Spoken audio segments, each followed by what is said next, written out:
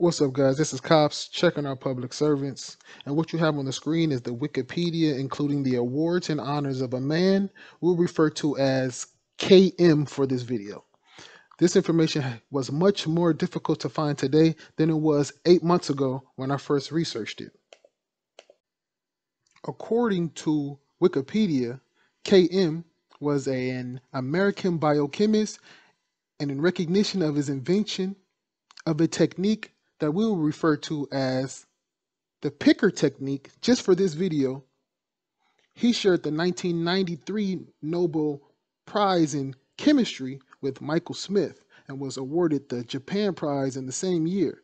His invention became a central technique in biochemistry and molecular biology, described by the New York Times as highly original and significant, virtually dividing biology into the two epochs of before picker and after picker. KM's invention of the picker test plays a crucial role in all of our lives today because according to mainstream media, picker is the gold standard and most sensitive test when it comes for testing to testing and diagnosing people for CV19. And based off of this article written in December 1996 by John Lauritsen, titled Has Provincetown Become Protease Town? We get a little insight on KM's thoughts on another bug, as well as his thoughts on his picker technique that he invented. KM is thoroughly convinced that this bug is not the cause of this. With regard to the viral load tests, which attempt to use picker for counting bugs, KM has stated quantitative picker is an oxymoron. Picker is, identi- is intended to identify substances qualitatively, but by its very nature is unsuited for estimating numbers.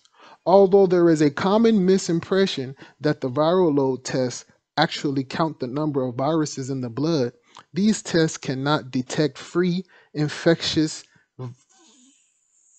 bugs at all. They can only detect proteins that are believed, in some cases wrongly, to be unique to this bug.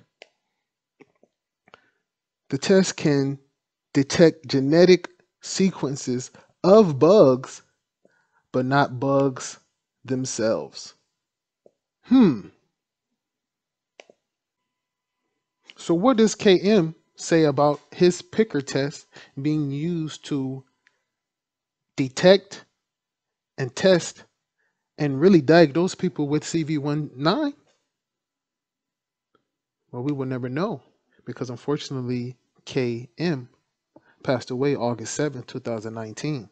But I think it's pretty safe to assume that his stance would be the same that it cannot be used to detect for any bug.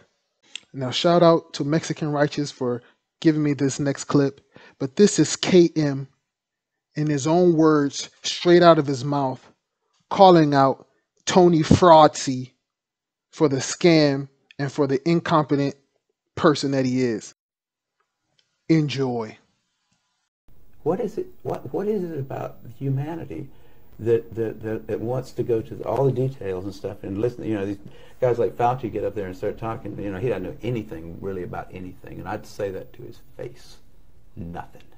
The man thinks you can take a blood sample and stick it in an electron microscope, and if it's got a virus in there, you'll know it. He doesn't understand electron microscopy, and he doesn't understand medicine. And he, he should not be in a position like he's in. Most of those guys up there on the top are just total administrative people, and they don't know anything about what's going on at the bottom. You know, those guys have got an agenda, which is not what we would like them to have, being that we pay for them to take care of our health in some way. They've got a personal kind of agenda, They make up their own rules as they go. They change them when they want to, and they smugly, like Tony Fauci, does not mind going on television in front of the people that pay his salary and lie directly into the camera. Like Tony Fauci does not mind going on television in front of the people that pay his salary and lie directly into the camera. You can't expect the sheep to really respect the best and the brightest. They don't know the difference, really. I mean, I, I like humans. Don't don't get me wrong, but basically, there is a there's a there's a vast the vast majority of them do not possess the the ability to judge who is and who isn't a really good scientist. I mean, that's a problem. That's a main problem, actually, with science, I'd say, in this century, because science is being judged by people. Funding is being done by people who don't understand it. Okay, who do we trust? Fauci? Fauci doesn't know enough to, you know. If Fauci wants to get on television with somebody who knows a little bit about this stuff and debate him, he could easily do it because he's been asked. I mean, I've had a lot of people president of the University of South Carolina asked Fauci if he'd come down there and debate me on the stage in front of the student body because I wanted somebody who was from the other side to come down there and balance my, because I felt like, well, these guys can listen to me, but I need to have somebody else down here that's going to tell me the other side. But Fauci didn't want to do it. Wow, guys. Right out of his mouth, it sounds like he's talking in 2020, but this appears to be sometime in the 90s powerful video here, guys. Please share it with everybody.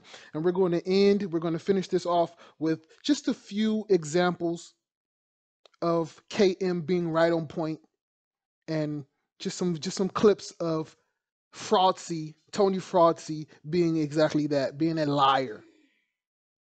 What the penetrance of infection is in any given way, I think that's yeah. going to be very important because the virus is being spread throughout the country by people without symptoms. So we've got to go beyond the symptoms. Wait, I'm sorry. What did you just say? Penetrance of infection is in any given way. I think that's yeah. going to be very important because the virus is being spread throughout the country by people without symptoms. Oh, so- it is. Wait a second. But you said this. You said this about asymptomatic carriers. And guys, I'm not making an assertion. I'm not making a statement. I'm just asking a question. But he's saying it's being spread by people who are asymptomatic. But he said this, uh, what's this, back in uh, September.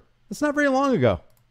To just add one thing that seems to get lost in that question is that, as Bob said, and I agree, we would really like to see the data because if there is asymptomatic transmission, it impacts certain policies that you do regarding. He said, if there is screening, etc. But then he says, but the one thing historically people need to realize. Okay, the context is historically. Okay, what's the scope of that history, Sir Immunological God? Even if there is some asymptomatic transmission, in all the history of respiratory borne viruses of any type, in all the history of respiratory borne viruses of any type is the context. In all the history of respiratory borne viruses of any type. That's pretty all pervasive. That, that's pretty all inclusive. Asymptomatic transmission has never been the driver of outbreaks. The- if that's true, then why would you want a broad brushed, broad spectrum, low sensitivity test to blanket the entire country? If that's true and they're being consistent, then that makes no sense to me, in my opinion. What do you guys think? The driver of outbreaks is always a symptomatic person. The driver of outbreaks, he's using he's using um, uh, solid language.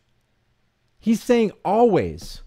He's using what what is that always and never? What what absolute? He's using absolute language. The driver of outbreaks is always people who are showing symptoms what the penetrance of infection is in any given way, I think that's yeah. going to be very important because the virus is being spread throughout the country by people without symptoms. So we've got to go beyond the symptomatic people. And we got to go beyond the symptom. Oh, you may look well. This puts this puts a suspicious spotlight on everybody, guys. This gives them an out. Oh, Anthony Fauci said, yeah, you can't even go, hey, look, I'm asymptomatic. No, it doesn't matter. It doesn't matter. You may look well, but the dragnet includes you. You don't have to have a sniffle. You don't have to have a sore throat. You don't have to have an elevated temperature. You could look perfectly fine, perfectly. You look healthy, I know, but the immunological God said, and I'm going to finish it off with what he says right here. always a symptomatic person, even if there's a rare asymptomatic person that might transmit. An epidemic is not driven by asymptomatic carriers. Like Tony Fauci does not mind going on television in front of the people that pay his salary and lie directly into the camera. Right now in the United States, people should not be walking around with masks. You're sure of it because people are listening really No. closely to this. Uh, right now, people should not be walking. There's no reason to be walking around with a mask. When you're in the middle of an outbreak, wearing a mask might make people feel a little bit better, and it might even block a, a droplet, but it's not providing the perfect protection that people think that it is. And often, there are unintended consequences. People keep fiddling with the mask and they keep touching their face. And often, there are unintended consequences. People keep fiddling with the mask and they keep touching their face. And often, there are unintended consequences. People keep fiddling with the mask and they keep touching their face. And can you get some schmutz sort of staying Of- inside of, there? Of and- course, of course. But when you think masks, you should think of healthcare providers needing them and people who are ill. What adds up to us suppressing the virus? It seems to me that the masks are one, right? Dr. Redfield testifying yesterday, even saying, look, this is almost as important as a vaccine in terms of mitigation. Do you, you agree with him on that, correct?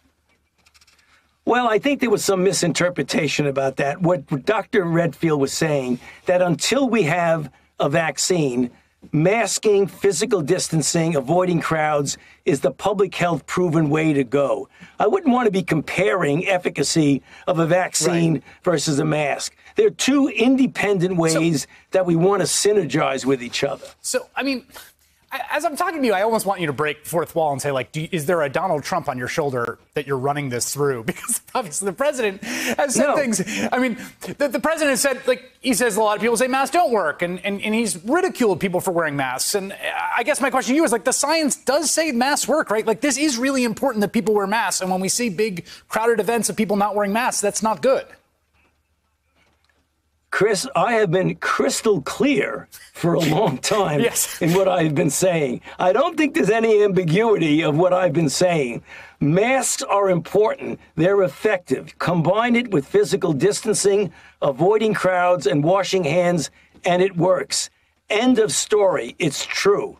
What no about- question about that. Like Tony Fauci does not mind going on television in front of the people that pay his salary and lie directly into the camera.